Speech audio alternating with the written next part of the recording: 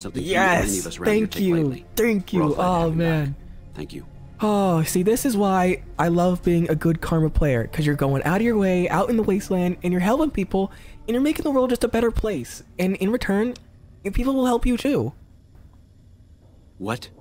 Why on earth would you think you can walk in here and make troop deployment recommendations to me? Alright, thank you guys for watching my Good Karma NCR playthrough. You know, we, we've been having a lot of fun over here.